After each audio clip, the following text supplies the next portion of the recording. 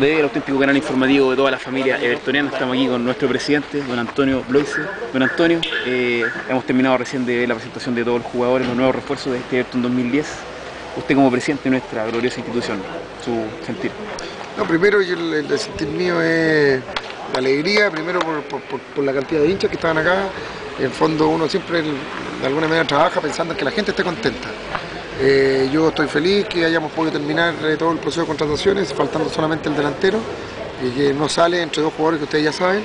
Eh, así es que vamos a partir la pretemporada, obviamente, prácticamente con el plantel completo y espero que la hincha nos acompañe durante todo el año, que en las buenas y en las malas, tal como despidieron al equipo cuando perdimos 2-0 con la Universidad Católica, que realmente esos son los momentos que uno tiene que recordar, los bonitos momentos que uno recuerda como, hincha del, club. Así es que eh, ojalá ese mismo espíritu con el cual cerramos el capítulo del año pasado acá en Sausalito se mantenga, se mantenga por, el, resto del, por el resto del año.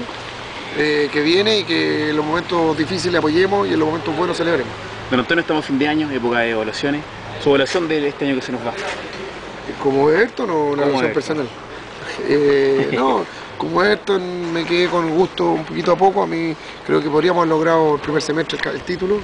Se nos escapó un poco en la semifinal con la U en Santiago. En Copa Libertadores creo que también merecimos pasar a la segunda fase, pero también me quedé con gustito a poco.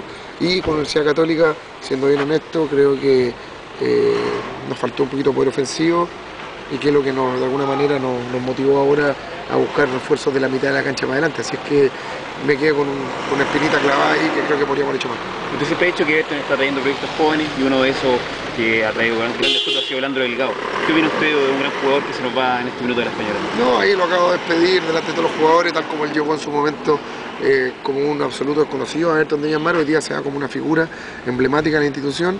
Eh, eso mismo de alguna manera que sirva de ejemplo a Lisandro Enrique, a Antonio Rojas, eh, en general a Montesinos, jugadores que están llegando hoy día con el mismo cartel que llevó Leandro en su momento y esperemos que acá tomen el valor que corresponda para que ellos puedan de alguna forma salir también de acá y que en fondo dejen una huella en Ayrton. Pero fundamentalmente también quiero tratar de comentarles que hay cinco jugadores de que, cinco o seis jugadores que subió subieron al primer equipo de la división inferior y creo que es un hito súper importante porque durante años tenía un proceso prácticamente estancado en la división inferiores y hoy día vemos después de tres años que, que, nada, que ya estamos teniendo frutos y frutos importantes.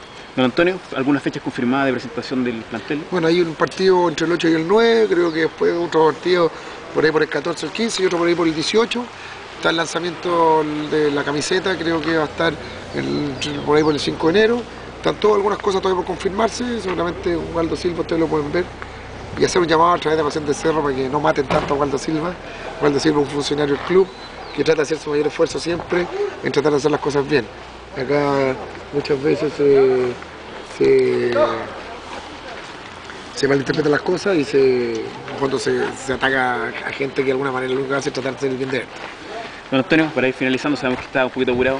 Enviar un mensaje a toda la hinchada que lo está viendo a través de esa cámara, de las pantallas de Pasión de Cerro TV, eh, sobre lo que se nos viene para este gran año 2010, que esperamos que sea el año en que bajemos la quinta estrella.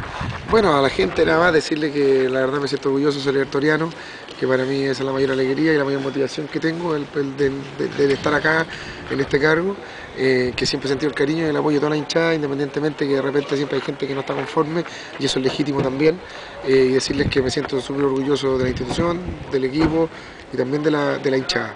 Creo que tenemos la mejor hinchada del fútbol chileno, gente súper buena, los conozco personalmente y nada, pues se hace un esfuerzo para tratar de que cada día tengamos una vida más alegre, que Everton sea una parte importante de nuestras vidas y una parte que nos dé felicidad. Así es que un abrazo y modestamente lo único que les digo es que siempre tratamos de hacer las cosas lo mejor posible, a veces resultan, a veces no, pero que en el fondo ellos entiendan que detrás de todo lo que se hace hay cariño. Se me está olvidando, el fútbol femenino, ¿qué pasa? Bueno, también eh, el fútbol femenino continúa, tenemos el desafío de la Copa Libertadores, está Waldo también terminando de ver algunos detalles con eh, Mario Vera, esperemos que Mario continúe a cargo del proyecto y, nada, seguir dando el espectáculo que estamos dando, somos el mejor equipo de Chile, no los mejores de Sudamérica y obviamente agradecer a la alcaldesa de la ciudad que también nos permitió de alguna forma con el apoyo que ellos nos están dando de poder continuar con esta actividad que tanto, tanto orgullo le da a esto. Antonio, muchas gracias y a, la vuelta lo esperamos tener en Pasión de Cerro. De todas maneras, pues ahí está, nuestra casa, cuídense.